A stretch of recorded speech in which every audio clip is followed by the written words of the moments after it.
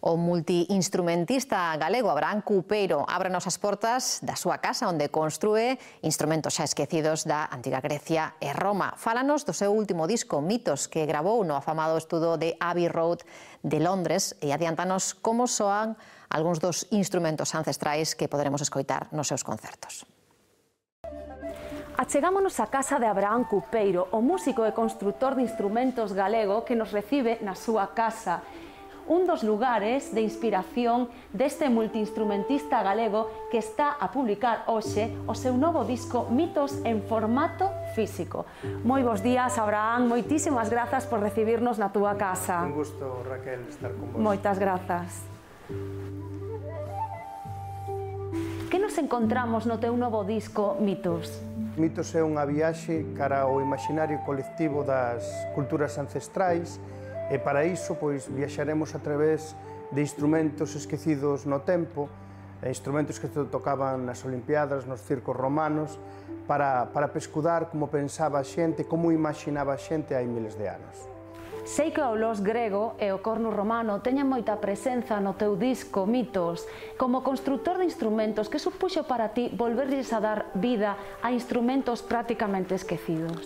Na verdade é que é algo moi frustrante a priori porque tes moi pouca información e tes que ir collendo pois, eh, pedaciños para unir e facer un todo e despois tamén aprender a tocalos é algo realmente complexo, pero despois a verdade é que a recompensa merece a pena porque son sonoridades pretéritas que encaixan moi ben no discurso do século XXI. Sei que hoxe estarás tocando en Ourense e mañán en Santiago. Poderías nos adiantar algo do que imos escoitar nese directo?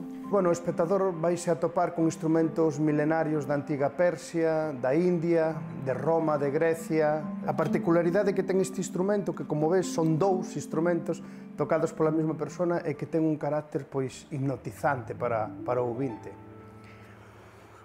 Música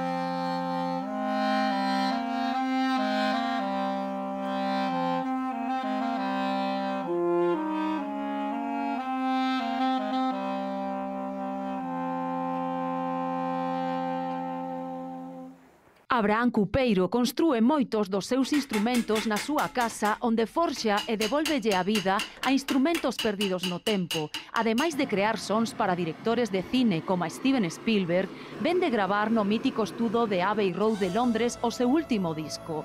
Abraham Cupeiro, un talento musical de Galicia por todo o mundo.